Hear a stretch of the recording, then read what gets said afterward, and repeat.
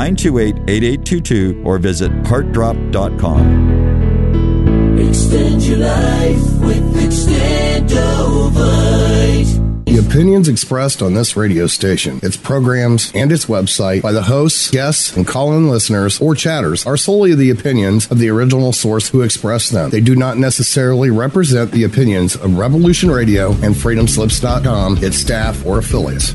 You're listening to Revolution Radio, FreedomSlips.com, 100% listener-supported radio, and now we return you to your host.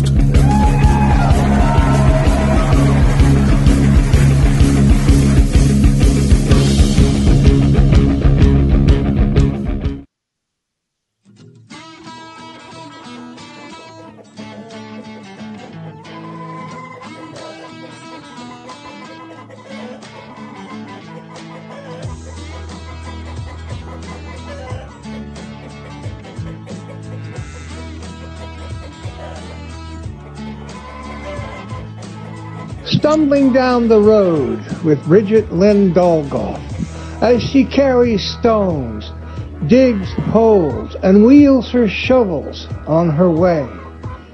This road is the real path. It is never easy and never clear, but always entertaining.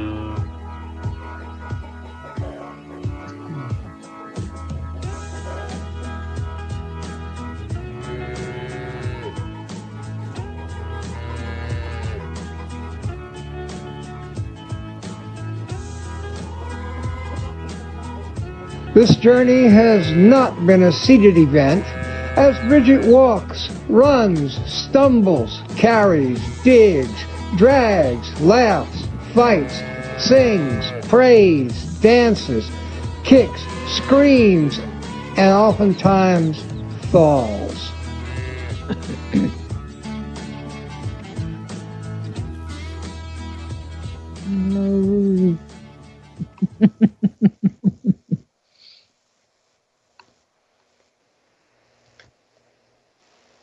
Well, I guess I might be on. Welcome. We're here at freedomslips.com, revolution.radio, and we are listener supported. yes.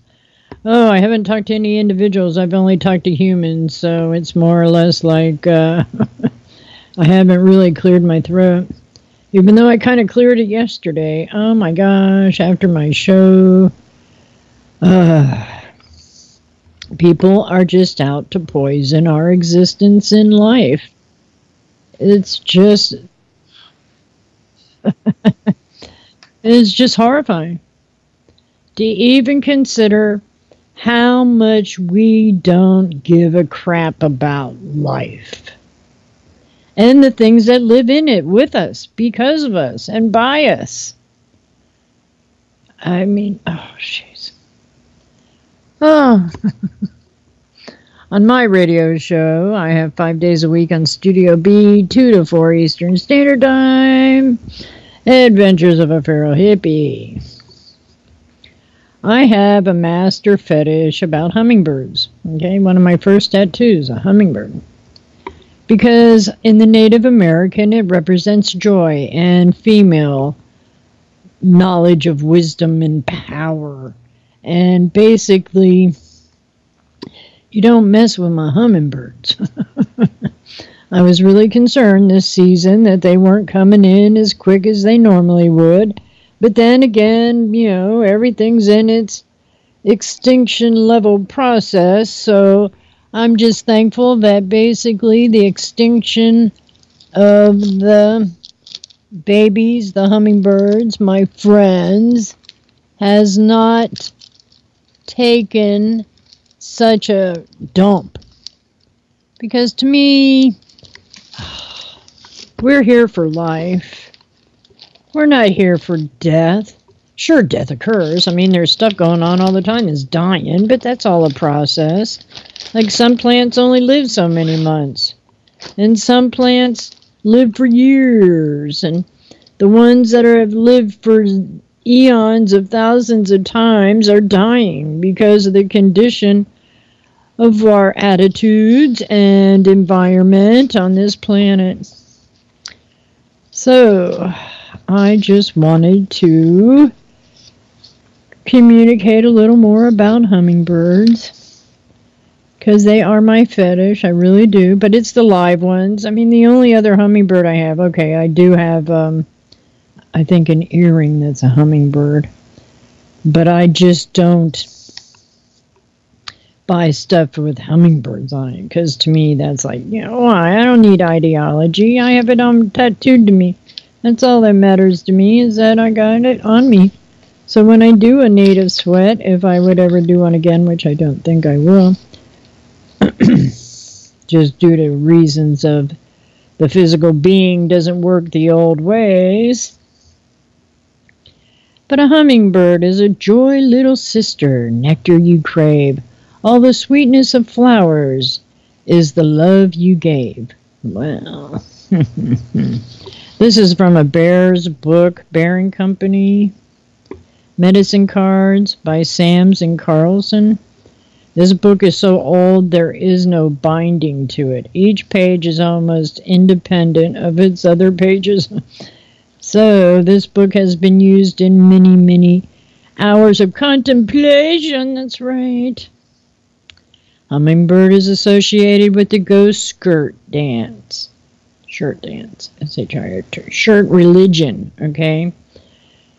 Native American ghost shirt religion, which was taught that a certain dance done properly would bring about the return of the animals. Wouldn't that be nice?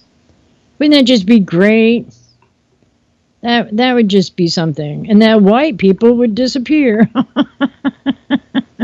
Now that's a little far fetched, but hey, okay, I get it because they effed you over. That's right. So yeah, I could see that you might want some repercussion from those actions, sure. But once again, the original people would know the joy of the old ways. In the Mayan teachings, Hummingbird is connected to the black sun in the fifth world. Hummingbirds can give us the medicine to solve the riddle of the contradiction of duality. You know, the in, the out, the on, the off, the black, the white, you know, duality. Everything with its equal and opposite. The summer hummingbirds awakens the medicine flowers. Hummer sings a vibration of pure joy. Flowers love hummingbirds because the nectar sucking brings about the reproduction of their future families. Plant flowers, plants flowers, and I've become a plant flowers and live because of hummingbird. Okay. okay. Hummingbird can fly in any direction, up and down, backwards and forwards. Hummingbird can also hover in one spot and appear to be motionless. Great Spirit creates Hummingbird to be slightly different from other feathered creatures. Because of their magical qualities, hummingbird feathers have been used for millennium in making love charms, and that the hummingbird conjures love that no other medicine does, and that hummingbird feathers opens the heart. Without an open and loving heart, you can t- never taste the nectar and pure bliss of life.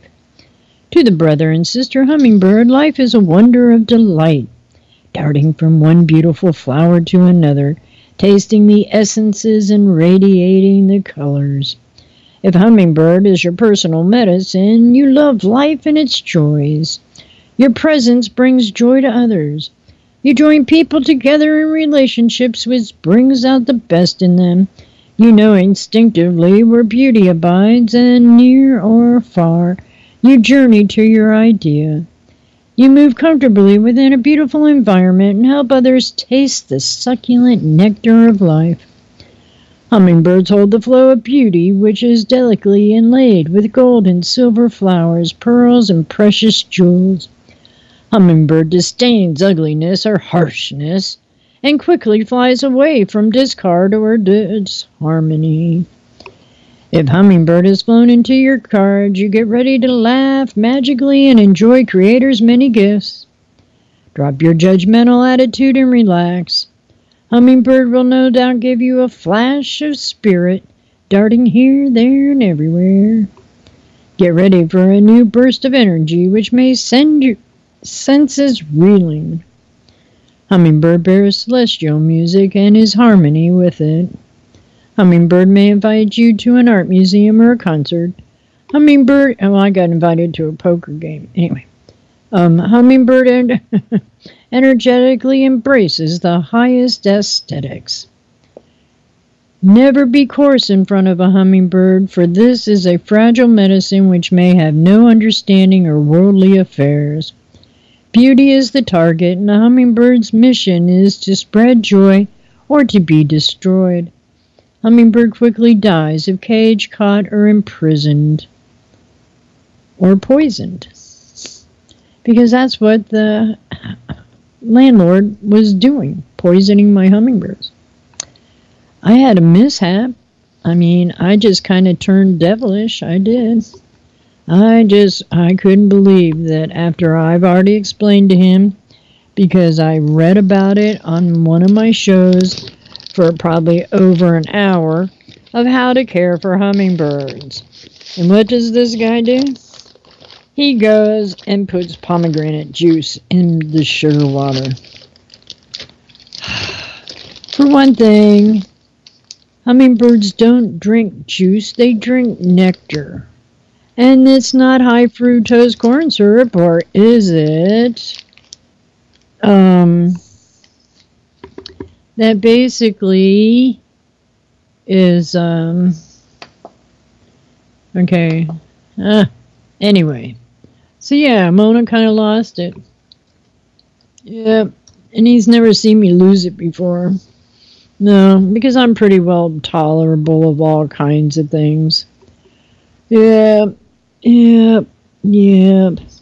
But not when you're poisoning life in front of me. And the whole funny thing is, is I was just waiting for after my show because I already made sugar water to put it into the container. That's all. I mean, just to try to help keep life going. Because to me, it is life. Beauty is life. I pull weeds to feed the goose. That saves me some dollars, or at least gives the goose a treat. Yes, I have a goose. A big, white, frilly, feathered goose. He's my friend. I saved him from abuse. Yes.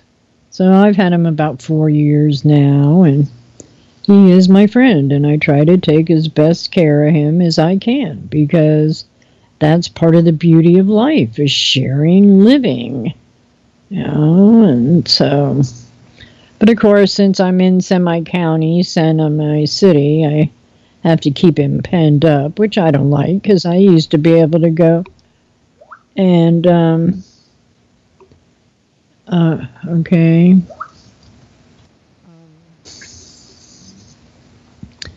To go and uh, be with him where I could pet him, even though he didn't like it because he thought a hand coming to him was uh, something to be in fear of because of who had him before. So, but we're still buds. I mean, you know, every so often I get to pet him and he's kind of like, ooh, ooh, ooh. I would have loved to have been able to raise him where I could pet him and, you know, be his buddy, but that isn't what happened and that's okay. But, yep. How many other things have I just really care about? The animals, the dogs, the everybody's, everything's, even the bees. I mean, I have not seen, at least to my knowledge, one honeybee.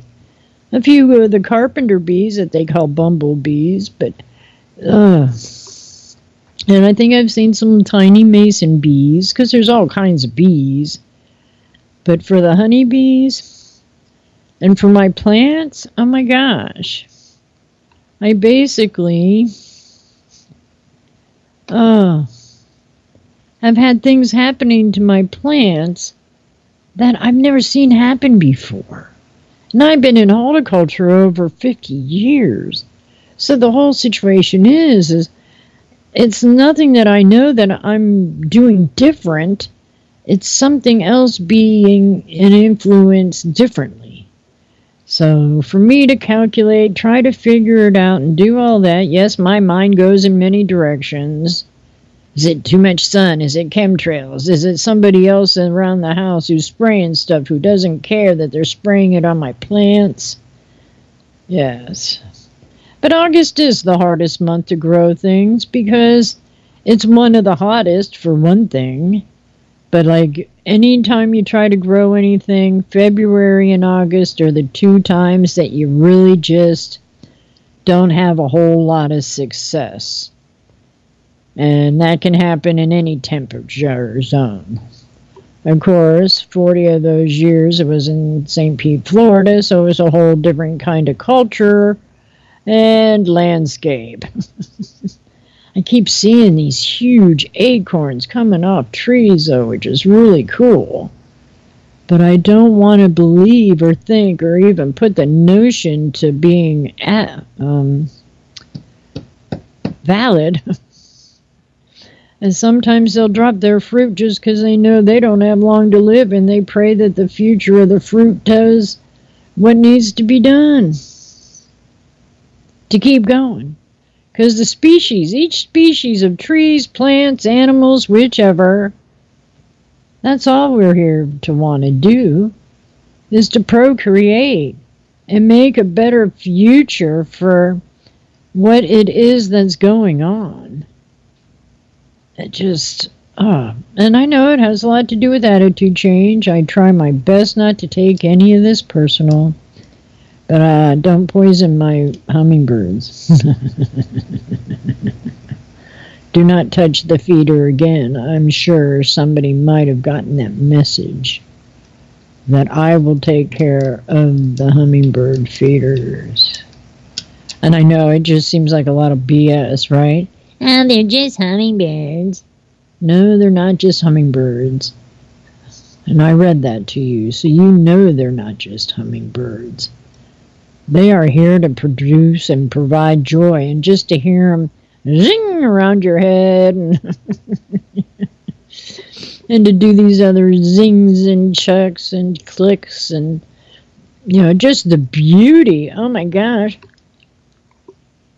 The beauty of the hummingbird is amazing. To see its iridescent white and blue and red throat Oh my gosh. It's just amazing. Yep. How could we just and not want to put and provide life for the life that's here shared with?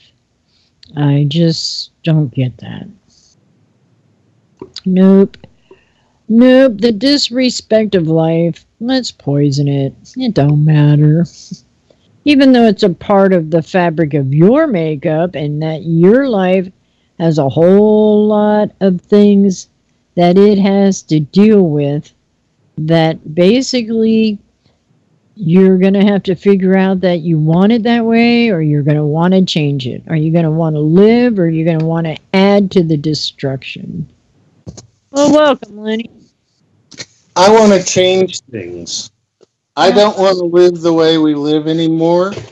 I wanted things like quit the stupidity of Skype because Skype should have been able to handle what we asked it to it handle, but it didn't. Skype and Discord seem to have a running pissing match, and so when one controls the phone, the other one can't do what they do, so they just jack into the other and mess things up for everyone. So it's really annoying to have to reboot just to clear everything to make it so that I can receive a phone call. Well, it's where you're at, isn't it? I don't know. I think it was the fact that I was in a meeting on Discord and that Skype couldn't break through the Discord screen to let me know that there was a message, which usually Skype breaks through everything and says there's a message. It pops up on your screen. Right. Huh. Not knowing that there was a message and waiting for a phone call, it finally dawned on me that maybe I was in a place that couldn't be reached. And sure enough, I looked and you had sent the B at what, quarter till 11? Quarter till 1? Well, to one to me, yeah. And so it was just that a message that normally should reach me didn't. Well, I think that happens a lot with emails. My email does that all the time. It sneaks in emails that should have been there at 2:07 a.m. when it was first sent, but when I first go through the list of my emails, it wasn't there. Yeah, and then Yeah. it shows up at like six in the afternoon and says that it's been there waiting for you since two in the morning. Right. And did you check your spam folder? Yes, I actually do. I check my spam folder. No, I'm convinced that what they've done now is set up the algorithm to cause stress in anybody using the internet to communicate. It's like with Discord now, every 20 minutes or so, it goes through a period for about five minutes where it clips off two seconds of the conversation every minute. Whoa. And it's like, okay, they were talking and then you can't hear anything. And then it comes back in and it says it's connection problems, but it happens too regularly to just be simple connection problems. And it happens to different people. Um, I can understand to get the drift that there's all kinds of energetic variations and con- oh, not con- collisions that go on that can do those kinds of things. That's why I don't use a bank. I don't use a debit card. I just use it as my identification when I go to the bank to get out cash because I don't trust them. The algorithms are not in our favor. No, and in fact, they do things from a position of power and then deny that they do them and just laugh their way to the bank because realistically, everything in the system is set up to take our money and give it to them. And so, if we're going to do a system reset, which seems obvious, how would we want to handle the Jubilee? Because there's the debt is debt to whom? Who who is all this debt owed to? Right. And so if the people who are debtors are given a jubilee, how do we give every location rights to the land at its location so that the local community has the value of the property of the earth to begin coming back together with? Because if we're not going to be globalized, we've got to be localized. Uh, otherwise, we're in the muddle in the middle, and that's what the banksters have taken advantage. Well, thinking that they're the ones who should hold favor over any of the transactions. That's why they didn't much like Bitcoin coming in because it's a whole different setup of transactions. Actually, they're pushing it, and that it's just a transfer, and they're making it seem like they don't want it while forcing it upon us because it gives them one more means of control. The cryptocurrencies are an intermediate, and they're not going to be the way we deal with real value. And dealing with real value is really what we've got to come up with because right now, there is no dealing with real value. What's of value is what they set the monetary price at, and the monetary price isn't a reflection of value in the market. There's no hidden hand. There, it's all hidden. Hidden beings. Well, it could be like the lawyers and the judges and the judicial system that all the words you think mean one thing actually mean something completely opposite and different. Well, all those folks have to belong to the bar, the British Registry, and the British Registry is a foreign entity. So why are they involved in our courts in the first place? Oh, that's a great question. Hmm. Yeah. Uh, yeah, who gave him permission? At this point, rule of law can't exist because the people who are in charge of enforcing the rule of law aren't enforcing it They're busy playing a game with maritime law, admiralty law, when we are common people and we have common law.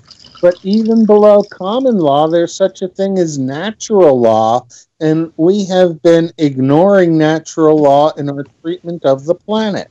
Right. And so I'm convinced that the way to get through this is to make the planet a living person, give the planet all rights of every living person, and then renegotiate all the contracts so that we can't rape the planet for all its value and say, oh, we're humans, we have domain over the whole planet. When we're not taking care of it, we're spraying chemtrails, spilling oil in oceans, putting sewage into rivers, and all sorts of different things. Right. Yeah, that's that's very valid. Well, do you believe that there's ways of remedying the issues that have been coming down? Yes, the first remedy is to not accept corporate culture. And if it requires nationalizing every corporation and then returning it to the local people, cut up the value, parse it into things so that every community that has a Walmart gets a portion of the Walmart empire to rebuild their downtown with. Mm-hmm. Because Walmart certainly blew everybody's downtown by outcompeting the merchants by undercutting prices from an economy of scale. And now they've got a monopoly on cheap goods, except that maybe dollar stores are infringing on Walmart's now. But I mean, really, what sort of quality do we get at Walmart or the dollar store? I get all my puzzles from Dollar Tree. But yeah, I see what you're saying, and it's true. They they are one step above the dollar stores, though. Literally, Family Dollar and all that. And they're selling poison for food, just like Walmart. So Right.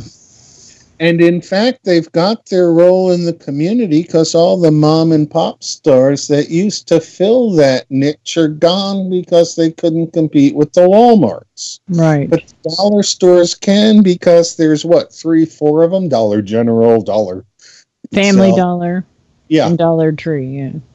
They don't all stick to the dollar pricing, but basically it's schlock goods for cheap enough prices that if you're willing to compromise your quality for quantity, which you sometimes have to do, it's good stuff. Plus, if you actually go through the shelves and look at what they've got there, there's all sorts of different things that you'd think were expensive on sale dirt cheap you can pick up audio headphones for a buck. And I don't care if they don't sound like Sennheisers. You didn't spend the $350 for the Sennheisers, you spent a buck. Right. Listen to music, and maybe it's a little distorted, but at least that way you're not interrupting all the people around you by not having a headset. When it costs $20 a headset, I gave people a pass. When it costs a buck a headset, I'm not so likely to give people a pass. Mm, But you when you're telling you're going to give people a pass, you got to do it in all those places you give yourself a pass. And I think a lot of people think that they're above the law and that they should get a pass when other people don't. And we live in a pass fail world where the default is fail. So instead of having a duality of pass and fail, maybe we have a trio of pass, pass, and fail so that it always takes two yeses to balance a no. And people who are deceitful with a no that can overcome a yes need to convince two different yeses. And that's a lot harder to pull the wool over two people's eyes than one. yeah, I like that idea. Yeah, that makes sense. It's a matter of how we organize ourselves as groups. And the first group you have to organize yourself as is a group of one. And if you can't handle yourself as a group of one, you got some work to do. Hmm. And until you're comfortable with yourself as a group of one, you really shouldn't impose yourself on anybody else. Right. At times we have to because that's the nature of the reality is we've got spouses and families and other people who can take our time when we need it. But you know, it's always valid to say, hey, I'm not feeling well. Can you give me some time off? And go back somewhere and catch control of yourself and find out what your problem is. Because usually, when I have a problem with me, it comes out that I'm cranky to other people. So, where do you go once you've got control of yourself? Well, according to Fibonacci, you jump from one to one. So, the next place you go is to the other one, and that's the whole world of everything. And if you're not comfortable in the whole world of everything, well, now it's time to spend some time in the whole world of everything. And when you're done dealing with the whole world of everything, retreat back into yourself and your little shell of one so that you've got the one that's the whole big world and the one that's your little world. And those are your two limits. So you never can get outside of you being the individual that you are, and you're not going to get outside the big group of all everything that is one. But because we humans consider ourselves a group of one, maybe that's the place we should set our group in our getting hold of each other although you know if we recognize the living planet and we set that as the upper limit of the group of one there's a lot of behaviors that humans do to the planet that are totally unacceptable from a human to human standpoint Yeah, but it affects the whole planet. Like people who don't recognize that the vibrations that we put out there are creating the future. And also the present because, you know, it just depends. If you're an a hole, then a hole things are going to come and affect you because you're calling it to yourself. And we have done this to the planet. Go ahead.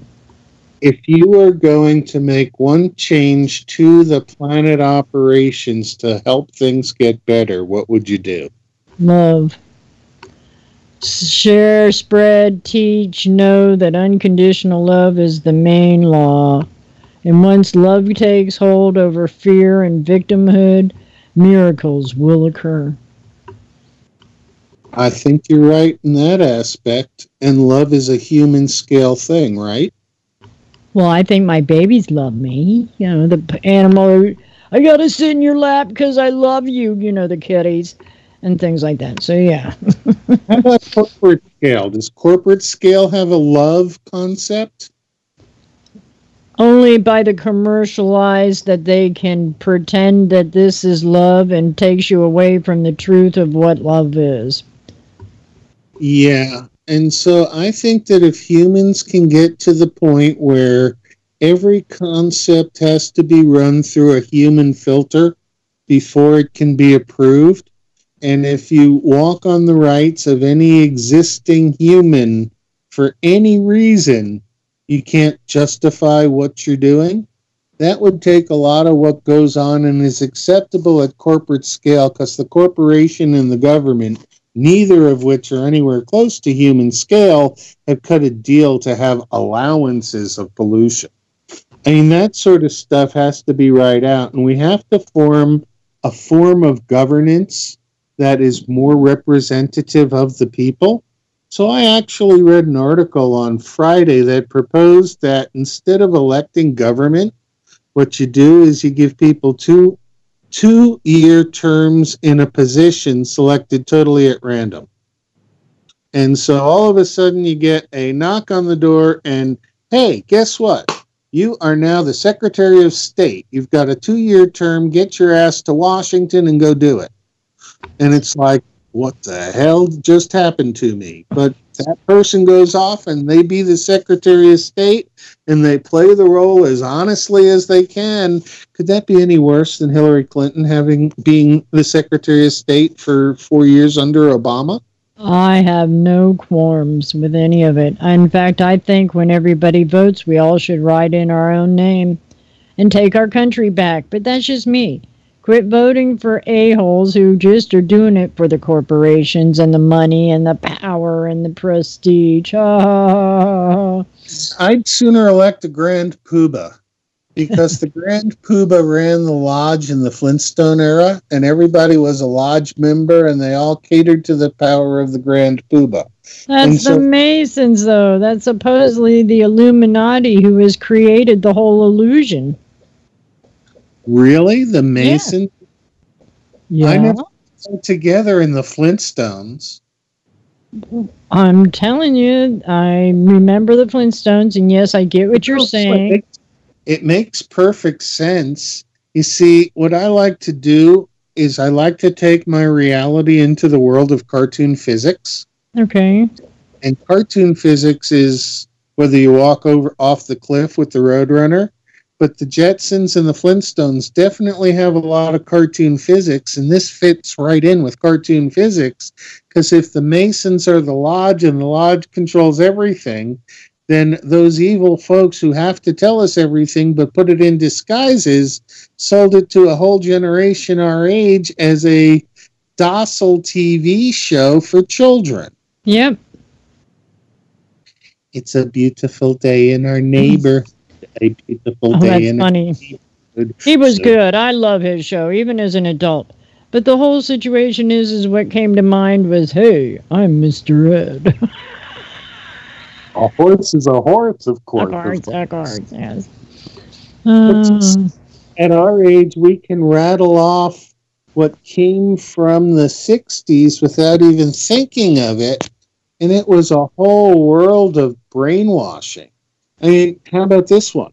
Taste me, taste me. Come on and taste me. Take a puff and let me do my stuff. oh, no.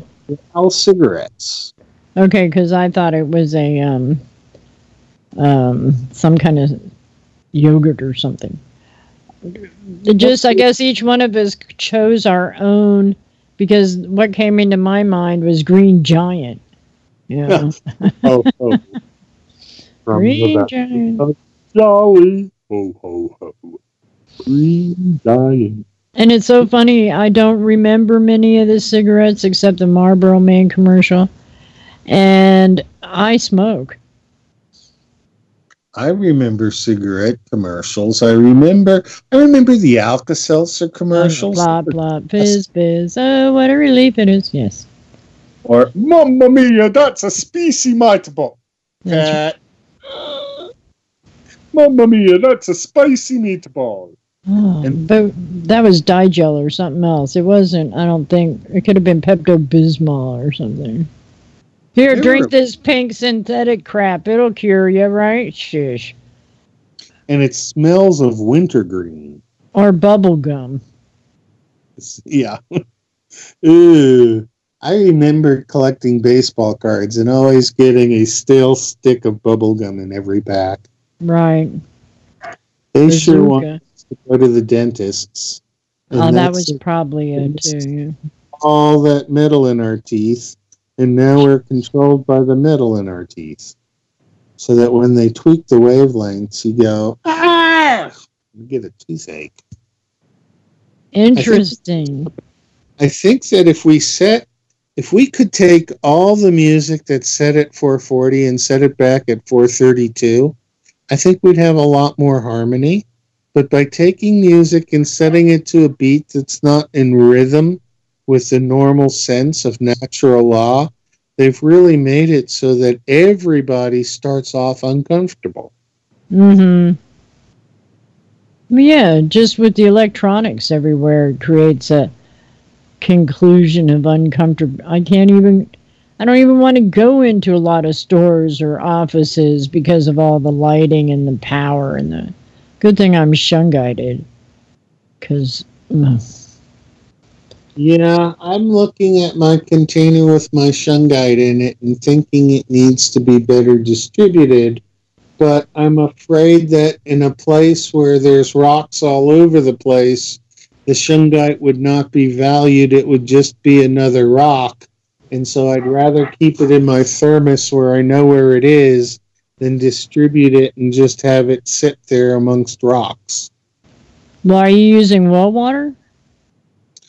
Um, no, we're Oh. using distilled water that's bottled and purchased, but I run it through my uh, water spinner.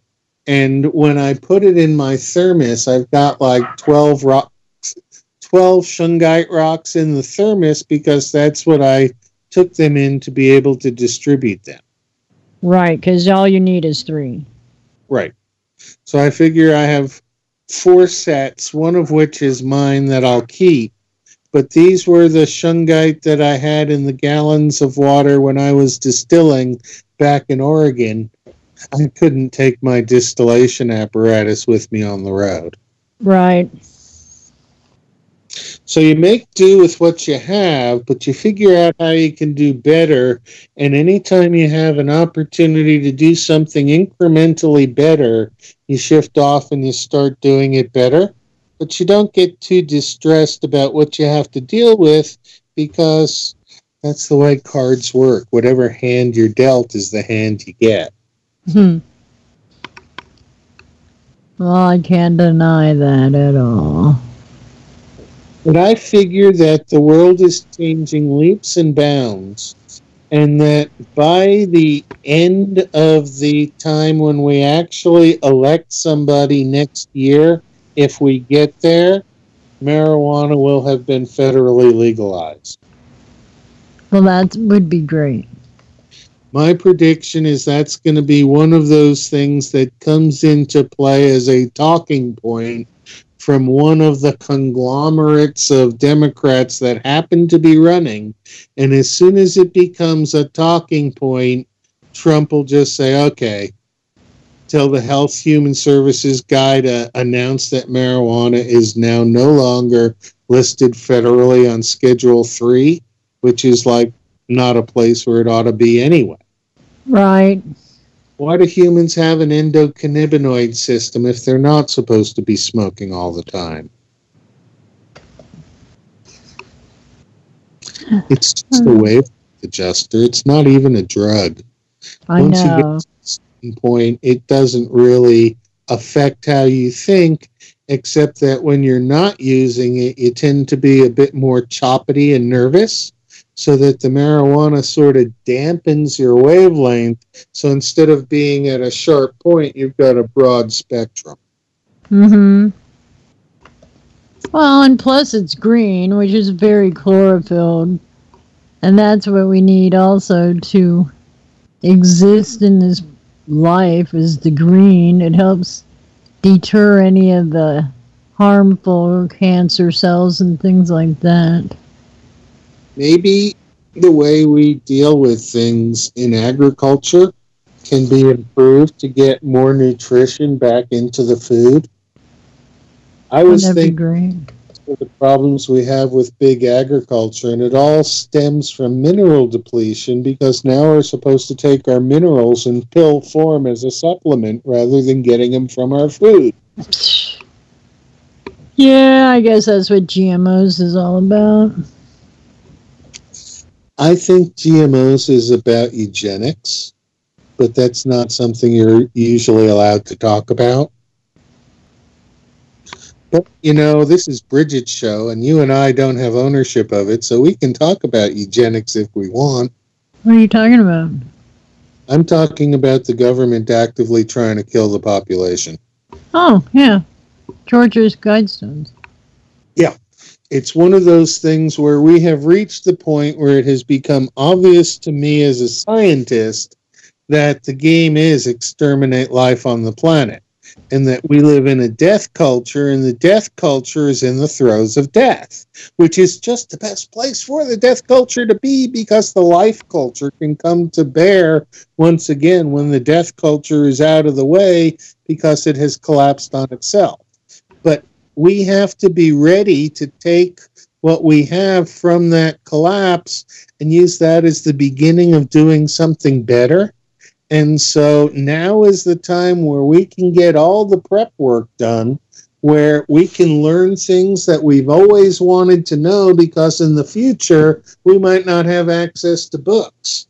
And so Right. if we have access to books, then the way to deal with it is to get that knowledge in your head now while you do have access to books. Right. No internet, no nothing. I mean, they could come down to where we're completely shut off from everything. What I find interesting is that when you look things up in the internet and then you look things up in the books, the books give you a little different perspective than the internet does. And it used to be that you knew you were going to get different material in the books than you did on the internet. But somehow they've managed to rewrite the books so that books that said one thing now say something else. right. So that the stuff that I remember being taught when I go back to the book that I learned it from says something different. And it's like, wait a minute, how do I deal with this concept? Oh, that's a good question. Because there has been no way that we've been taught or shown how to release, resolve, relinquish anything that does not fit in our constitution of our living human being. And that's why I think a lot of people actually also lash out because they aren't comfortable with finding a change because they're so stuck in the way they've been programmed that it's supposed to be. I had to have a nervous breakdown breakthrough just to get rid of what I thought I had to behave like and believe in and actually be just so I could let myself show what my purpose of being is in the human scale. Yeah, and so the things that we need to think to take care of on human scale are all the things that we've given up our power to some corporation to do on massive beyond human scale. Things like growing food or making sure the water is good or giving first aid. Right. I mean, nowadays, if you're a passerby and somebody gets hurt and you give first aid, you're liable to lawsuit. Really? In some places, yes. Oh, whoa.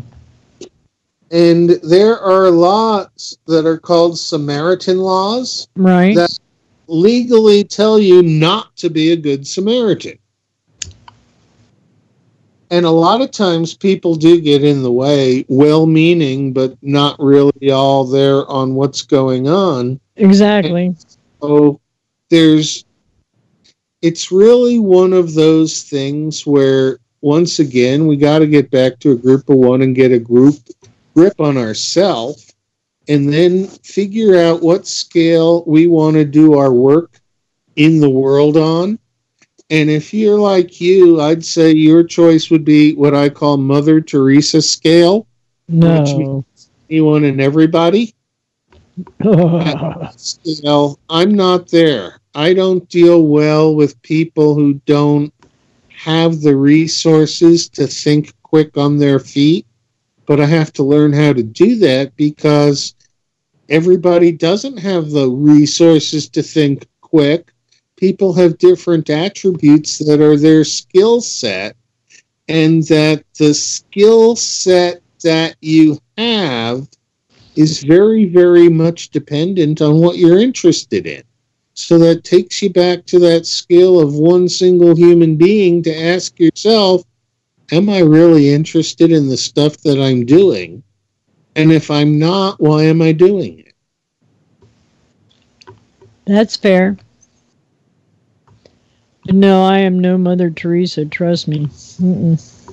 I didn't say you were Mother Teresa. I said you're working on that sort of a scale where anybody who comes in contact with you has access to you because you've put yourself out there as a talk show host and people know how to contact you and spill on your ear if they wish to do that.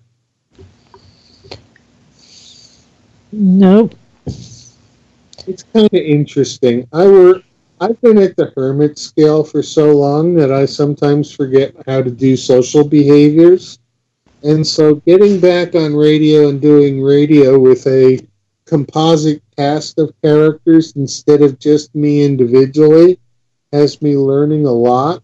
And then living with a family that actually has children and adults both in the same house is something that I haven't done for a good 15 years. Right. I've learned that the way children see the world and the way adults see children seeing the world are two vastly different ways of looking at the world. Yes. And it's still all by programming, though. But It's you can't choose sides. Well, you know, part of our programming is so well embedded that we don't even see it as programming. Right. It- Part of it's that the programming has changed during each generation so that the programs have been written for the generations to battle each other. And Mhm. that, that has been set off very deliberately. And really, the obnoxious behavior of people who call them adult, themselves adults, in dealing with hormonal children is what breaks up a lot of families because the hormones that the children are going through need to have something to do to get there. And the adults all live in their own world and don't give their children enough attention or give their children way too much attention. And there's no middle ground where a child can have peace. It's either have a helicopter parent or get totally ignored. And those are not good options for children. Not normally. it seems to me that the whole education system coming from human scale has to be redesigned to the mind of a child. Well, um, if adults would recognize that they still have the heart of the child, things would be a whole lot easier on everybody. I've allowed my inner child to have equal status to my higher self and become a group of five along with me, myself, and I. Cool. And so I'm not schizophrenic. I just have compartmentalized myself enough to know which of those five should be the dominant persona in a certain situation and act accordingly. And so when I'm I and I'm operating under the status of my PhD in chemistry, I have different credibility limits than when I'm me playing the role of a talk show host that is a scientist who is against scientism. Right. That's a role that I play on the radio. And I think a lot of people in real life who get to know me realize it's a role. But a lot of the listeners who listen to the show regularly and some of the participants don't realize that it's a big act. Okay. It's a role play. And so I'll say things that are ridiculous and try and push them as a scientist to see how many people will believe me and then do a reveal that tells them how ridiculous I'm getting with it until somebody calls me on it. And then I remind everybody that it's a crypto fiction and we're allowed to do that. And everybody laughs, but it once again gets them recognizing that the people who are out there who call themselves experts, well, X means former, and we all know what a spurt is, right? Yeah, right when you have forgotten to shake the ketchup or the ma- um, mustard before the vinegar comes out. Yeah. So when you your first shot, oh, the leaking. and what do you do? But you know, that's the way it works. And I bet that 90% of American households have mostly empty bottles of ketchup, mustard, and mayonnaise in their refrigerator. I had to throw one away because the plastic was so fragile it broke. I had ketchup running everywhere. It was like, oh my gosh. It was like a brand new container open too. Not that I use a lot of it, but it's a built-in obsolescence trick that they want us to buy more in larger containers that are more fragile and the, the biggest chi- trick of all are those sacks of chips that as soon as you open the sack the entire sack explodes on you And it's like, oh, I see what they're doing. They want me to go buy more chips. So they'll destroy the packaging so that pretty much if you buy a bag of chips with all the things they put on the chips now, you get embedded into the salt addiction and you pretty much finish the package no matter what size it is. Right. Well, that sure doesn't mean that people have been disciplining themselves, does it? That's the person who should be disciplining us is ourselves, but we also should be forgiving ourselves for transgressions and trying to lead a happier frame of life. Hey, what time do the uh, mid show? Top of the hour, honey. I'm Yeah, I- listening to the station now, waiting to see when it comes on. I don't Yeah. remember the Saturday. I only remember my days. Plus, it's a different studio, so Yeah, I think it's supposed to come on at 56.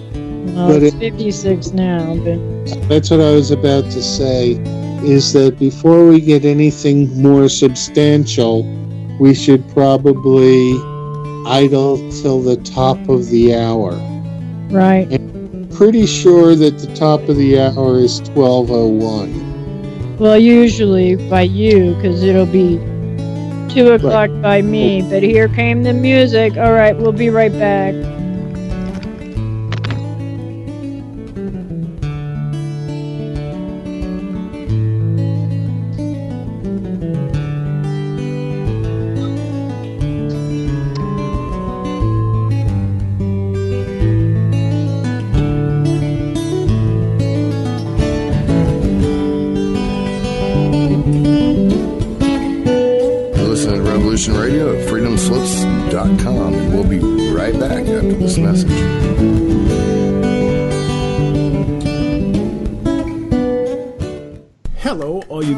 People out there in Revolution Radio. This is Mario. I invite you to join me Thursdays at 6 o'clock for this, that, and the other. It's a show about you, it's a show about me, but ultimately it's a show where we try to have a little bit of fun. We discuss some important topics and we do our best to be apolitical. So I invite you, put on your favorite pair of comfy sweats, your smoking jacket, and grab a beverage of your choice, and join me Thursday evenings at 6 o'clock for this, that, and the other on Revolution Radio.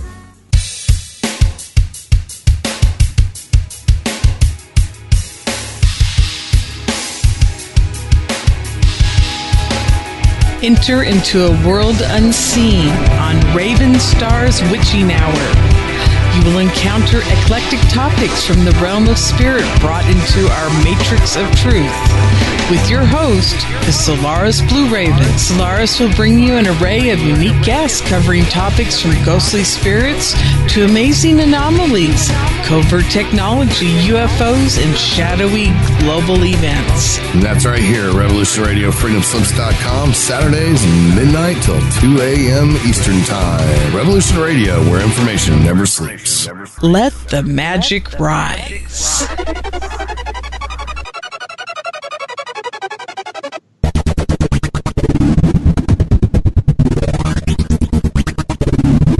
From the astral realms to the physical plane, the halls of power to the walls of home, the multiverse to the innerverse. All will be haunted by the ghost in the machine. I am Steve Zerloff, the ghost in the machine. Mondays, 10 p.m. Eastern Standard Time, Studio B. Exclusively here on Revolution dot Radio.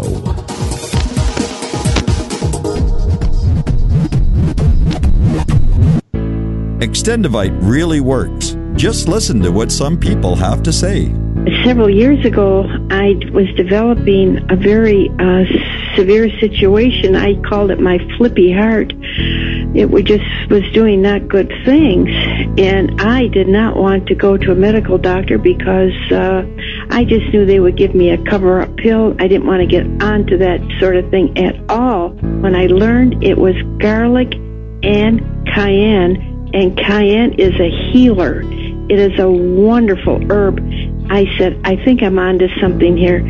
I'll tell you, I wouldn't be without it. It did wonderful things for me. Extendovite is only $69.95 for a two month supply of either capsules or liquid. Call now. That's 1 877 928 8822 or visit heartdrop.com. Extend your life with Extendovite. Opinions expressed on this radio station, its programs, and its website by the hosts, guests, and call-in listeners or chatters are solely the opinions of the original source who expressed them. They do not necessarily represent the opinions of Revolution Radio and FreedomSlips.com, its staff, or affiliates. You're listening to Revolution Radio, FreedomSlips.com, 100% listener-supported radio, and now we return you to your host.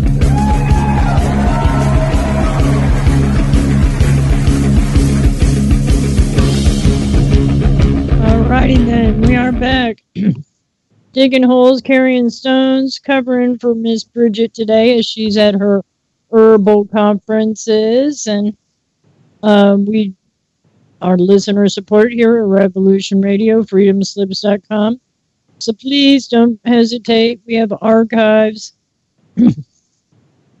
and seed packs and all kinds of stuff at the homepage on the screen please don't forget us because we love our station.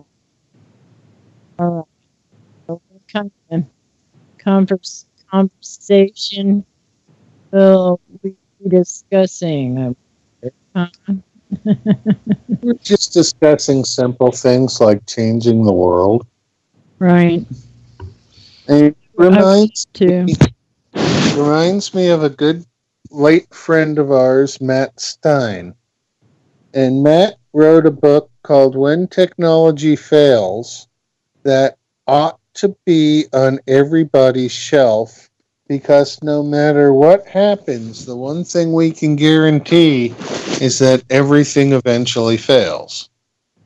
It's too much to keep things going in a linear trajectory before something goes wrong and things start going haywire. So the idea that failure is bad isn't really a good idea at all. That we have to embrace the fact that we fail at things before we succeed. And even after we succeed, we'll sometimes fail again. And that as people, what we need to do is not be as attached to the outcome as doing it correctly in the first place yeah, right. If you're doing things correctly how you think are correct and it continually doesn't work, I think that's a good hint that maybe you're not quite correct in your thinking. Or they don't know if you're dealing with others to have correct thinking either. So some situations are not where you have to consider yourself wrong. It's just that they can't compulate or comprehend what is being actually put out there. And I think that for all that we can comprehend, sometimes we totally miss the point too. And that people are people and have their own way of thinking uniquely that has been educated into common thinking, Hmm. which doesn't serve any individual to think commonly. And so each of us should be thinking for ourselves. And when we start doing that, we start seeing more parallels in things that we weren't told were related to each other. And Right. so one of the biggest things I found by learning, by spending time out in nature, is that if there's not one way of doing something, then there's another way of doing it. And that things that I had done routinely and always could count on for some reason couldn't be counted on, had to come up with something else on the fly. And it's like, you know, you had a book of matches and you go for them, and there's a puddle in, in in the book of matches. And so it's not a matter of being able to not do without the fire. You just got to come up with something and whoever invented the bic and mass produced it did something very very good so if everybody had half a dozen bic lighters on hand in an emergency situation that would be something of great value. And so, what do they sell them for? Six for five dollars? Oh no, I think they're probably six for eight. Anyway, depending on where you can get them, they're still a very good deal. And if everything broke down, I would guarantee you could always trade a lighter for something you needed. Well, that's why I buy matches. Matches work also. And a lot of people won't use lighters because they're high tech things. But Oh. it, it makes sense to me to be ready for any possibility. And the more you think you know what's coming up, the less likely it is to come up. so don't don't fool yourself by overthinking too many things. The trick is to just be aware that if something breaks, when it breaks, you can address what the cause was. And if you get the cause right, you're likely to fix the problem. But Mhm. we've got so many problems now that aren't even addressed because the people who have responsibility in reality are busy doing political stuff and don't have an attachment to the real world. And so we're in a place where everybody's world is a different world, and the world that we've grown up in and have gotten used to is going to change in the next five years. But whether it's the introduction of going out into space, or it's a world war that causes an Armageddon, or if it's a revealing of a future of peace on a living earth, that has yet to be determined. And the narrative that is in play now is so unbelievable that they can't pull it off anymore. And those of us who have an inkling that there's something else going on need to be explained what it is that's the big reveal because some people know what's going on and try to take advantage of it. Some people try and do good no matter what they're up to. And somehow the do gooders are taking advantage, and that never makes sense. That's not the way they write the scripts. So I think we need to step back and start creating our own narratives. Yes, and that's by not basically digging into others' narratives. Yeah. Finding a group of people that you're happy working with and rolling up your sleeves and getting to work in exclusion of what's going on in the outside world, just so that you're at a place where if things do fall apart, you know what your next two moves are. hmm It doesn't have to be anything major, but one of the scenarios I have is that if they pull the electricity, the gas pumps don't run, and Right. so Or water. Tank of gas. So what are you going to do with your one tank of gas that'll get you to wherever you need to go as long as you can conserve that gas? Right. It's just a mental gymnastic that people can play with themselves just to learn and think it through. And that way it's never going to happen because you've already thought about it and you've got your situation. But everybody gets to deal with situations they've never experienced before because that's what experience is all about. And as you get to our age, close to 60 or so, you've realized that, you know, there's not that many new experiences left that aren't like other experiences that you've already had. And there's some experiences that you've had that were so wild that you know you're never going to go there again.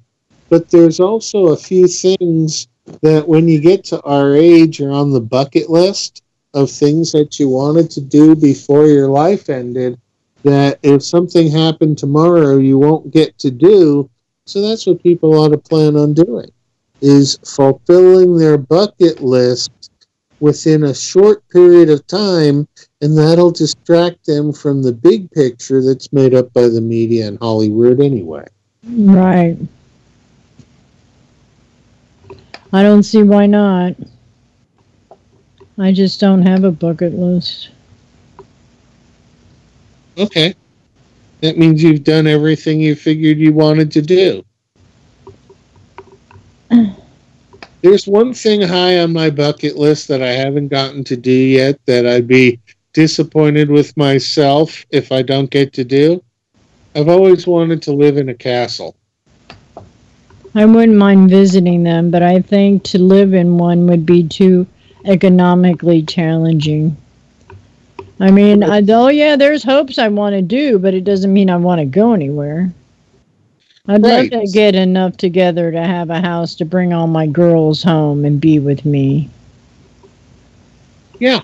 And so if you can envision that as a plausible reality, it has more of a chance to manifest than if you only give it a a fleeting thought. But somebody once demonstrated to me that if I made a picture of what it was that I wanted, and I then went ahead and went on with things, when I came back to that picture later on, I'd have what was drawn in that picture of what I wanted. And so it's an interesting game to think that that might happen. And I drew a picture and I forgot about it.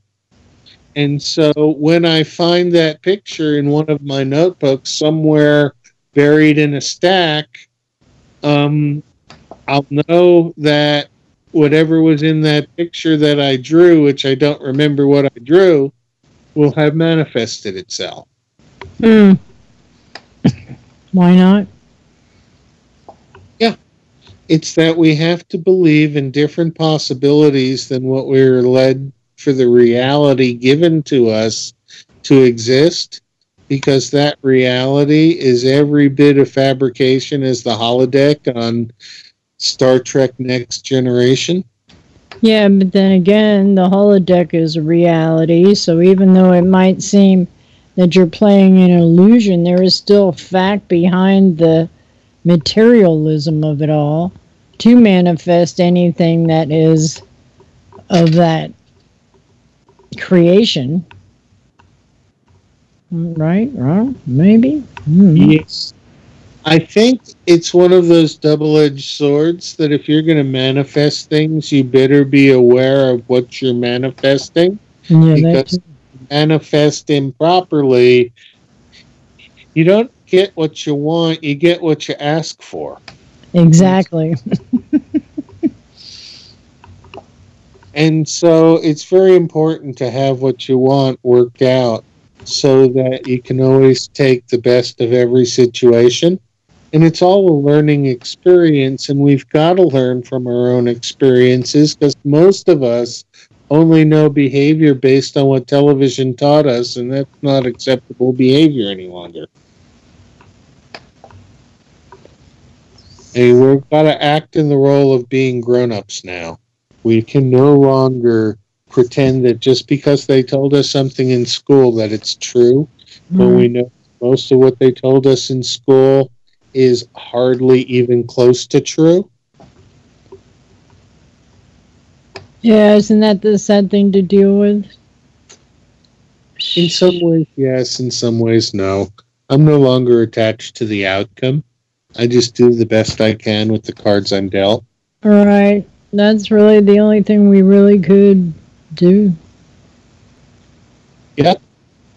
What was the song Paradise by the Dashboard Light by Meatloaf? You got to Mhm. do what you can and let Mother Nature do the rest. Interesting. No doubt about it, because we were barely 17 and we were barely dressed. Huh. Well, that's probably true. Go all the way tonight, tonight. Great song, Meatloaf Paradise by the Dashboard Light. Uh, Hmm. Oh, wow. We did cars, planes, trains, and automobile songs yesterday on our show. And I could have played Paradise by the Dashboard Light because the dashboard light is in a car, right? So it's a car song. I missed an opportunity. Oh. But that's okay. We had a lot of fun. We had a lot of good songs about conveyances. We got to leave on a jet plane with Peter, Paul, and Mary. And we got into a fast car with Tracy Chapman. And a lot of good music. And the more people that come on Fridays to play the music game, the more diversity of music that we're turned on to. And so the music games on Fridays usually work out pretty good. Then we sometimes play the Wheel of Infinite Realities, and that's where our host, uh, our host spins a wheel, and it makes the sound effects, and then we get asked questions, and the contestants have to answer the questions. So, like it, it was a pretty good game we have fun. We invent games. We do the games on the radio, and that's how we play. So, for any listen interested listener, we're on Steempunk Radio at 10 in the morning Eastern Time every weekday. That's Steempunk, S T E E M P U N K. And uh, you can find it on the TuneIn app. And uh, we do all sorts of crazy, weird shit on radio but one of the things that we try and do is we try and stay away from reality topics, at least during the current run. I'm going to get back to the point where I bring on guests for interviews and we do get some serious stuff.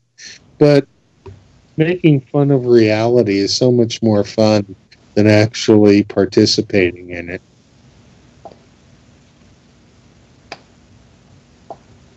So that's my pitch. Now that everybody knows that I just want to play games all the time, there is something to the reality that's going on that isn't making sense. And I'm trying to piece it together and I I get the feeling that the built-in obsolescence was made to pump the economy, but still if in past times things were made really to stand up for long lengths of time, where are they? because right now you can't get really good goods. You only get cheap plastic imitations or paperboard wood or things like that. Right. So I, I'm starting to think that not only is there not value in the system, but the things that the system was originally put together for that showed the value of the population have diminished to where the population isn't capable of things that have long lasting value anymore. And heck, most of the population can't even grow its own food. Yeah, well, the environment is changing.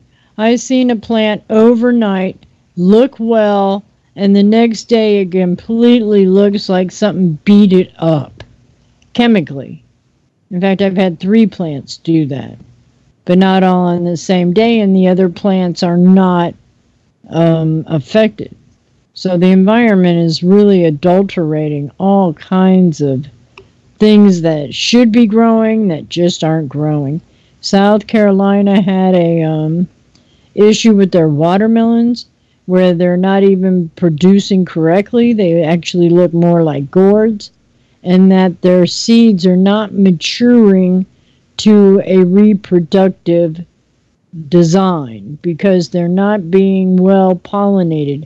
I didn't realize it took like 300 little taps on that sternum to flip and get where the fruit actually gets pollinated. It has to have that many on one flower jabs to get pollinated to create a fulfilling seed bearing fruit.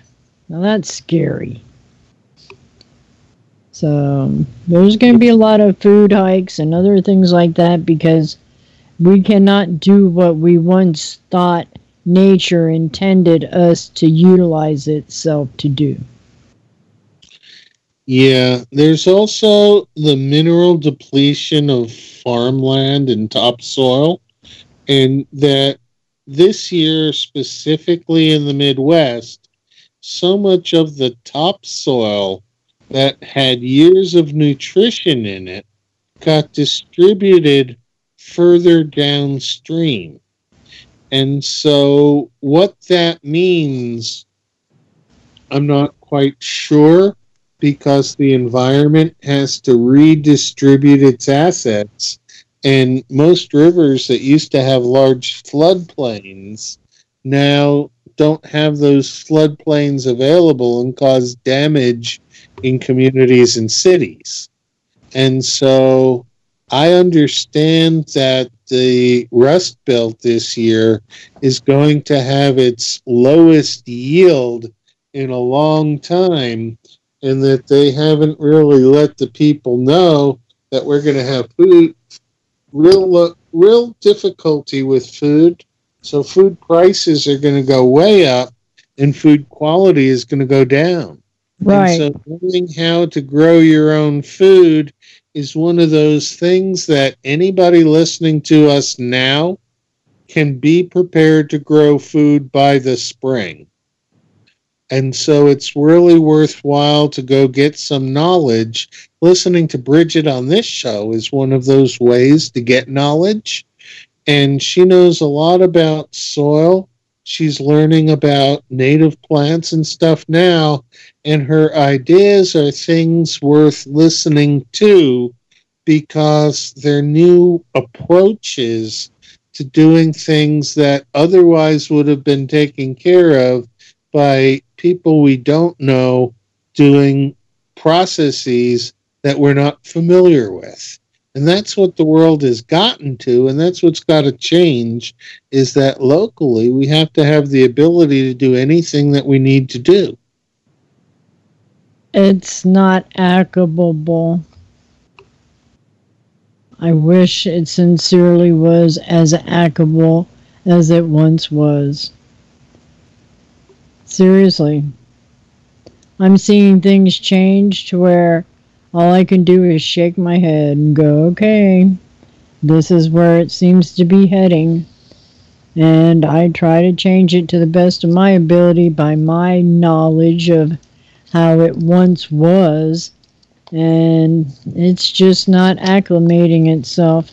But August is the one of the hottest months, and they want to say that we don't have chemtrails anymore. Well, yes, we do, and I'm seeing things that I just would rather not even incorporate into the idea of.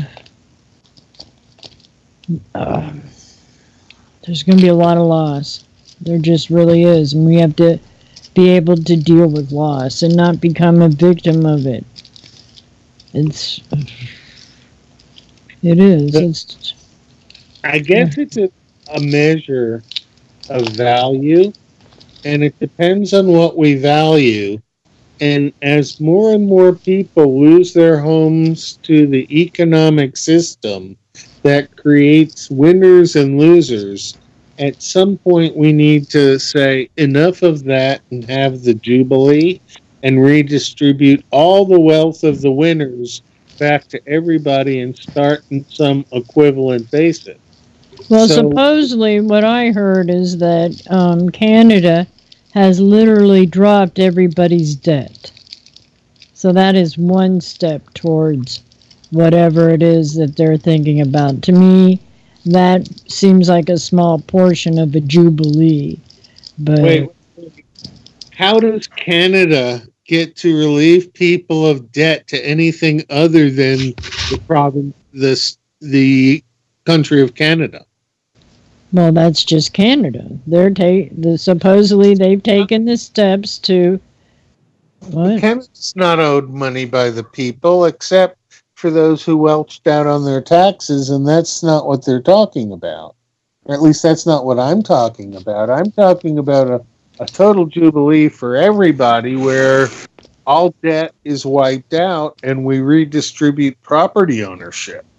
Well, that was supposed to happen during all the blue moons a time ago, and it didn't happen, that, to my knowledge. I don't believe it has happened either, But what's a blue moon? That's when the full moon is well, out. they were the red moons. They it was the red moons. There was a certain eclipse cycle that was happening like in the 16s and 17s. I, I could probably Google it. and um, that the red moons where it was supposed to turn into a jubilee that everybody got a clear slate, clean slate. Let's see. well, but we should make our jubilee then. Hmm. If if everybody has a clean slate, let's redistribute the property now and let's go to it. But as long as people owe debts and and the government is super in debt and all this debt, debt, debt, debt, and it's all owned to the banksters, there's an easy way. We have the new way guillotine for banksters. Grab every bankster there is, and when we have enough heads rolling, we should have a new system, right? Right. But the question is why we believe in the economic system in the first place. Isn't it time we've given up on it? We need to do better than economics. We really do. Well, I don't know how for what. Okay, it was 2016. All right. Not that it happened or did anything, but they keep putting religion in it, and I guess maybe because the Pope's the one who's the biggest owner of all the banks, really, you know. Mm-hmm. Yeah. Uh, well, all right, Dirt. We get your meaning, but you know, hey, um, uh, how can I say that? Yes, a blue moon, but a true month only has 28 days. The months that we get, you can't put two moons into a 28 period if the moon cycle's 28 days. Right. So a month is not, and when they say blue moon, that's just a conniving fact of non existence. It really is. Yep. And so the entire structure that they give us reminds me of this game we used to play with children where we told them that the Easter Bunny and Santa Claus were real. And then when they got to be teenage, we suddenly told them, nope, that's not real. We've been lying to you. And we expect them to believe anything else we might say. Oh, well, yeah. That was another Oh. thing that had to change my life is I couldn't lie to my children. I didn't want to be lied to, so I wouldn't want to lie to them, and I did the best to my ability. It's all you can do is all you can do and to the best of your ability is all you can do so i i pat yourself on the back not condemn yourself for any reason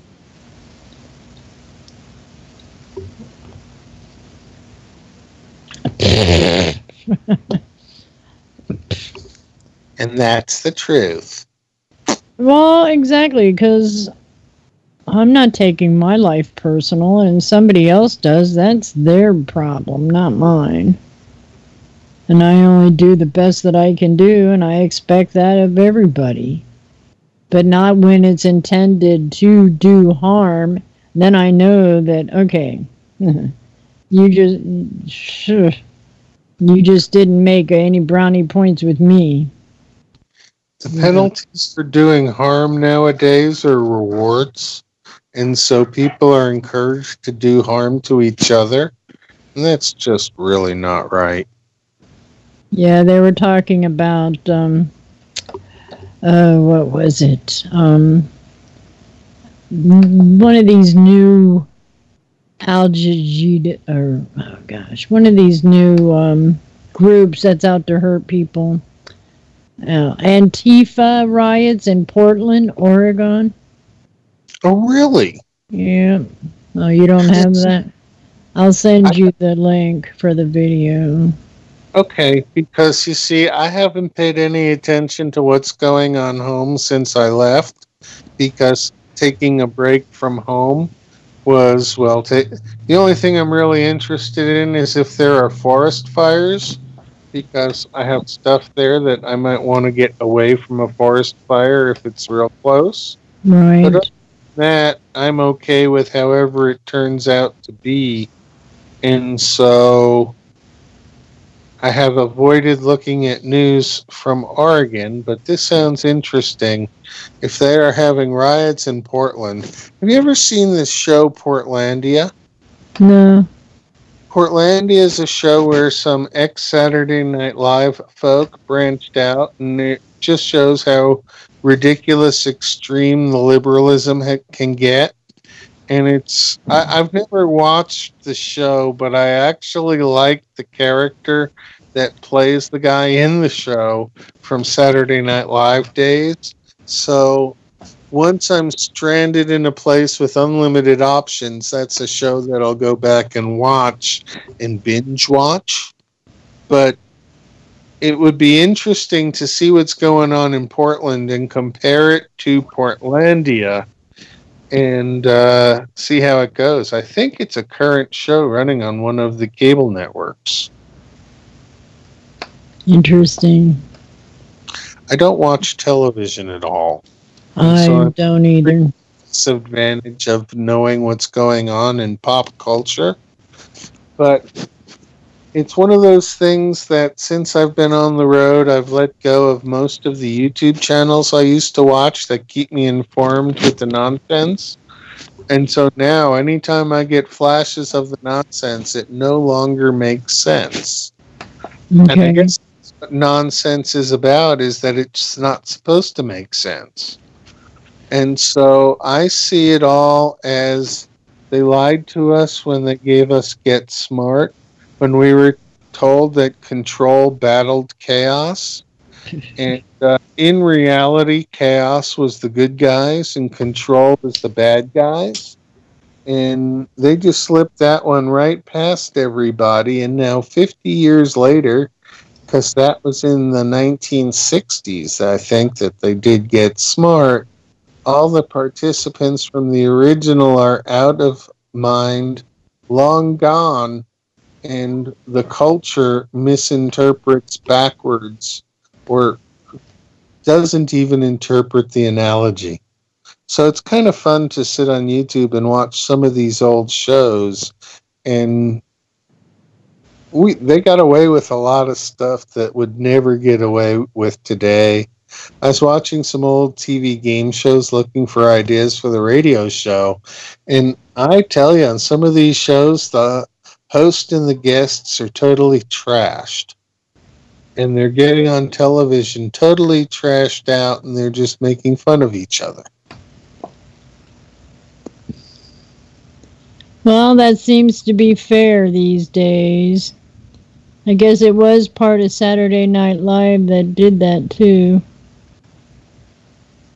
I think it's always part of the culture to be able to do that, but now everything is so politically correct that if you even try to do that, there's people jumping on your case.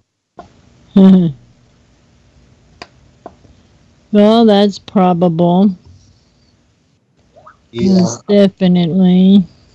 I'm happy to be able to use the radio to talk as a uh, person to the radio audience because a lot doesn't get said and what gets said and presented for mass consumption. But for those of us who are watching what's going on and shaking our heads, uh, it's one of those things where if we wait long enough, I do believe the biblical passage said that the meek shall inherit the earth. What what's going on can't be stopped, but it certainly can be gotten out of the way. So I'm not going to be like a Chinese guy in Tiananmen Square. I'm not going to lay underneath a tank. Right. I'll not be in that square, thank you. I don't blame you. Why put yourself out there? But then again, we're putting ourselves out there just being here right now. And that's okay to my idea anyway. Because it's Because it's and you're live on Revolution Radio. This is Dr. Lenny Thyme. I'm talking with Mona Rad- Radler, who is the Feral Hippy, and you're listening to Carrying Stones and Digging Holes. I do believe that Mona is intending to return to the call, and I've never seen a Skype call that's actually dropped the host and still maintained the call. So I am definitely here out on my own because I have the station, but I do not seem to have anything else going on on the call. So have a happy, happy, happy, happy holiday. No, wait. We can talk about things like better living through not so modern chemistry, because if everything breaks down, we're going to need to make things like soap. Soap's really not that hard to make. And if you know what sort of plants make soap, you can make soap out of your plants pretty well. Or you can use hydroxide and make lye soap. And you can get lye at a whole bunch of different places. But if you're making your own soaps, there's protocols to follow. And that's where you might get my buddy Matt Stein's book. Matthew Stein wrote a book called When Technology Fails and uh, he's no longer with us, so there's not going to be a republishing of the thing. So it was written in 2000 and then revised in 2008. So there is a second publishing, and I've got the second publishing autographed copy. So I'm doing really well, and uh, things are good. Um, I'm wondering where our host happens to be and whether or not we might actually get her back into the show. Because, you know, after all, this is her trying to be covering Bridgette's show. And so, I don't know. Maybe somebody from the station can cue me in by playing something that I can hear and I'll know if they're if I'm just talking in the air or keeping it so that we are alive on radio because sometimes you never know. And as a talk show host, I feel obligated to keep on air, but if I'm not on air, I certainly would appreciate not having to talk continually. So, if we understand technology as technology runs, then the idea is that technology is bound to fail. And when technology fails, all we can do is pick up the pieces. And uh, once we pick up the pieces, then we can do things. And that's what life's about picking up the pieces from whatever happens and continuing on with life. I just got to another Skype page, so I'm going to see what's going on in Mona World, and maybe we'll get her back here to continue on with what we're doing on the station. Because after all, I feel sort of in that place where things work out as they work out. Okay, I now have my cue. I am here. Oh, yay! what went on there? Um, I cannot fathom to tell you. Okay. I didn't do very good tiding over because I was confused as to what was going on, and so I kept talking, but the talking was incoherent. Oh, I could And- hear it. It was there. Whoops. Now why am I shut off? Oh, wait a minute here. You there it sound like goes. Yeah, it's just uh, I, I don't know. Something came in and zapped me out. So it's all. all the planets are in normal, nobody's in retrograde, right? Oh no, Uranus is in a retrograde. I think Neptune is. I don't know. I know Capricorn. The Cancer, I mean, um, Saturn and Pluto have been retrograde. So I just re flip the on off slip, the button to the whole system and got back on. That's all. That's all you have to do. Do you listen to Crow Triple Seven at all? Huh? Crow Triple Seven is an internet radio group, and they No. were talking about the myths behind the names of the planets and how they related to the Greek and Roman mythology. And it, it's getting to the point where things are getting really bizarre and the history seems to be changing. Oh, I don't doubt that. They're trying to keep it um, quiet. You know, Yeah. they don't want the real history out. Well, I've been doing more work in Tartary.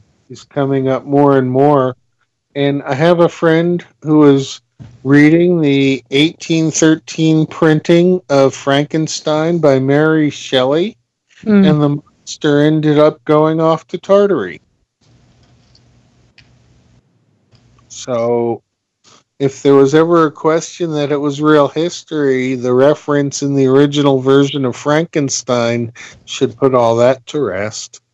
Or is that just another Mandela effect, too? I don't know. Some of it could be 5G. How would 5G change history? How would 5G? It's, it, by telling people it's safe and all the rest of that, and people go for it, that'll change history. Or are we going to literally wake up to the reality that it's a death thing? Uh, how could Yeah, that change reality? I wonder what's going to happen when 5G starts meeting the fillings in people's teeth and everybody's teeth start ringing. Well, it's probably- already been told that that's happening. Just with the metals that we have in our body, let alone the um I mean the 5G's microwave. What does that do to, to the water molecules and what are humans made out of? All kinds of maladjustments here are gonna happen. They're going on already with the soil and things. Yeah, people did the experiment of microwaving water before feeding it to plants and demonstrated how using just microwaved water will kill your plants. Right. So What's there's some sort of intelligence in the structure of water that the microwave reconfigures. It's almost like the microwave is a reset and the water is a chip, so that you always started your chip at all zeros. Hmm. So you zap the water, you then do some water structuring with shungite and that, and you probably got fairly intelligent water there. Although I don't think we need microwaves at all. I'd get rid of them totally. Exactly. I don't do it. I mean, there's one in the house that people use, but uh, I don't use it. I stay out of the room. I've made that suggestion that if you're going to turn on the microwave, tell me so I don't have to be around for it. Yeah, I don't really want to use a microwave oven ever, except to take apart and re- reuse materials that are within the oven. But I haven't done that since my old chemistry days. I'm not very good with screwdrivers and wrenches. I'd much rather play with glass and tubing. So, what you got coming next week for show guests? You have anybody coming on the show? Not to my knowledge.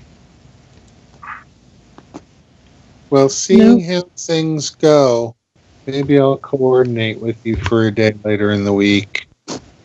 Yeah, drum up some information that we all need to hear. Not to say that the information we don't provide they need to hear, but you know what I mean. Now, do some uh, studies around the house and let us know how that happens. Have you tried growing anything while you're there? No, this is desert, and uh, everywhere here is it, it. the places where they grow crops in the field, they're growing crops in the field. There, nobody locally has gardens or that, and it's all the dairy uh, personnel and their families, and so not conducive to anything but going to work and coming home. But I have my own work inside my head and on paper and through the internet. So my physical location doesn't affect the quality of my work. Right. So I can do in whatever situation I'm in, but I'm not in the place in Oregon where growing food matters this year. Mm. And once we decided to put the five acres of hemp in in Oregon and bring people in to grow the hemp, my responsibility of making sure there weren't people, there was always somebody on the, the land at any given time, was relieved for the duration of the length of growing the crop. So I felt that it was a good time to go and take a vacation this summer. So mm-hmm. by being, I'm not putting terribly much thought into what's going on there. And Portland isn't really home, so I feel I can go and look at what you sent me. Part oh right. It's still it's something that they're trying to put out fear and make people feel like victims and it's a shame to think that uh, Portland's just owned by um, China. Everything in the country is owned by China. We Yeah, are probably. 20 zillion, gazillion, bazillion in debt, aren't we? But again, it's all debt to the banksters and their bankster countries and their bankster communities and that. So, once again, the Knew Weigh Guillotine, fresh on Steempunk Radio with two E's. But we only do that at 10 in the morning till 12 and then we have Alex Jones following us. So never thought I'd be a radio talk lead into Alex Jones. There you go. It's the irony. That's kind of good. That's kind of funny. I think it is. I never bothered to pay much attention to what's coming on after me, and we usually run right through the end of the hour and go to the third hour, which is not broadcast. So Oh, it's all. So tell us about your show, the Feral Hippy Show. How to connect to Studio B at the right time. On two to four Monday through Friday. Yep. This is my sixth year. That's a long time. But Yeah. I've seven years for any occupation. And then after seven years, you decide if you want to renew for another seven years. And sometimes you do, sometimes you don't. But I've never worked on anything other than my. Uh, 14 years was how long I spent in school. That was enough time. I mean, post high school.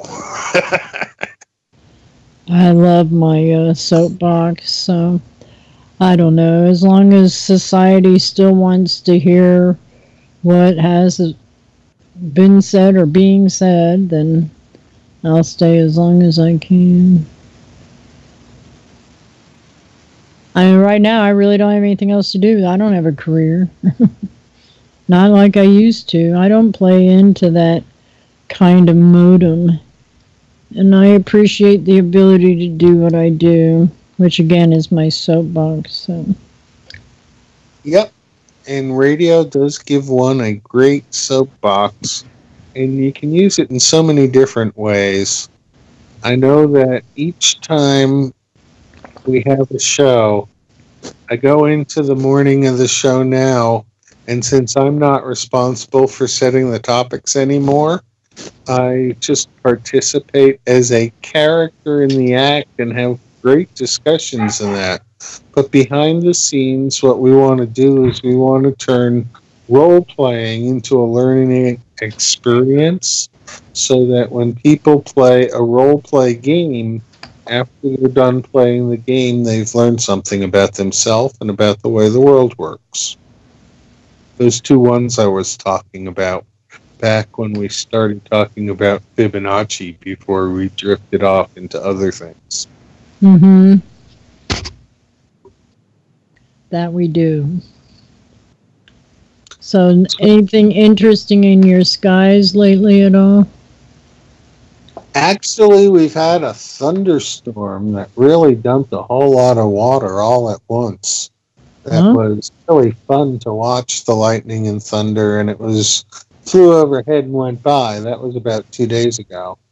But for the most part, I've seen individual s- streaks of chemtrail, but I have not seen the full bore spraying that we used to get in Oregon. Of course, I'm somewhere mysteriously hidden in the southwest, and it might just be that it's not worth spraying here because all the spray would then go over to Mexico, and they want to spray Americans and not Mexicans. The clouds aren't real. That's where we would get our food if we're not growing it here. That's why they're doing Mexico. But the the skies, they don't look like chemtrails anymore, but they don't look like real clouds either.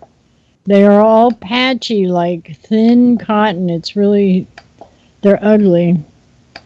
Do they look like they are uh, cloaked ships? They well, some of them actually look like they were rolls of um, harped water, like waves. The ones I've seen up here, I just didn't get a picture of them, which I should have. I didn't. I didn't get a picture of them, and I can see that they're still laying them down. So, and you know, I'm in Western North Carolina, so Yeah. In fact, if it looks like my journeys take me through there, I'll let you know. I would be riding with other folks, and it would probably only be a quick, Hi, how are you? Here's a hug. Let's have lunch and run. But timing, once I figure out I'm going that way, I'll set a map and figure out what can be done. Well, that would be an interesting journey. That's Yeah. a nice idea. It depends on the east west route that I'd take. But if things work out the way I think they're going to work out, being a backpacker and touring the country might be a good way of testing the pulse of the people in introducing a new way. That's a thought. Because definitely we have to take everything we thought we knew and weigh it again. And the ways that we've used seem to be reaching beyond our biocapacity of the world so that the ecological footprints that we've made are something that is way beyond our ability to come back with just walking away from the problem and thinking it would go away. Right. Yeah, there's going to be a lot of people overrun by conditions they didn't recognize were occurring around them because they just didn't have their eyes open and uh but otherwise we're at the top of the hour sweetheart i appreciate you joining me today Yeah, I'm sorry I was late, but the technology fail was that I trusted the technology to tell me when I had a message come in, and I should know better and pay better attention to time. But I was in a business meeting, so I would have been late whether I knew what time it was or not. it's all good my darling and Okay. i'm glad and we'll get together when you are able again next week Okay, take care. Uh, you'll never take care as they weigh you down and then you don't get anything done. But to keep Yeah, it there's no safe and, you know, keep it strong. Love you. Later. Alrighty then. So everybody have a great Saturday. Don't forget, we are listener supported. So please do the donate click and try the seed packs or whatever else is there to occur. So later.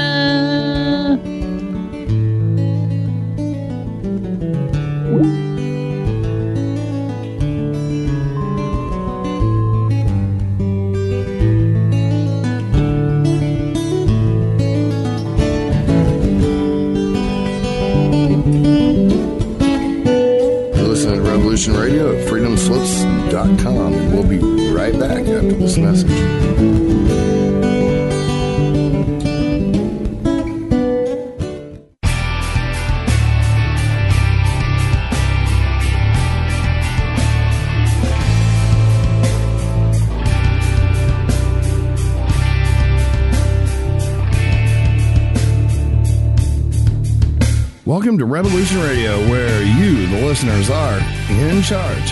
Here at Revolution Radio, we present 48 broadcast hours of news and information each and every day. Revolution Radio never sleeps. Revolution Radio is worldwide and borderless information. Revolution Radio is also commercial free. Revolution Radio is supported 100% by you, the listeners. And that's why we appeal to you to donate and support this station and its expenses. You can support us in many available options like archive subscriptions, our seed pack selections, or even my woodworking store. And we also even have Revolution Radio's swag at the Revolution Radio Zazzle store, in which you can get t-shirts, coffee cups, even a baby onesie. Or you can just plain donate to the cause. We cannot continue without your support, and your support is what helps pay the bills. So please, if you wish us to continue, please stop by our station support page and drop a dime on us. Revolution Radio, where information never sleeps.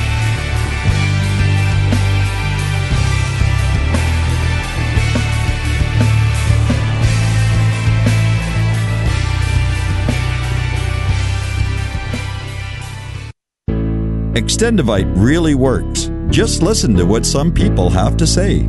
Several years ago, I was developing a very uh, severe situation. I called it my flippy heart. It was just was doing not good things, and I did not want to go to a medical doctor because uh, I just knew they would give me a cover-up pill. I didn't want to get onto that sort of thing at all. When I learned it was garlic and cayenne, and cayenne is a healer. It is a wonderful herb. I said, I think I'm onto something here. I'll tell you, I wouldn't be without it. It did wonderful things for me. Extendovite is only $69.95 for a two month supply of either capsules or liquid. Call now. That's 1 877 928 8822 or visit heartdrop.com. Extend your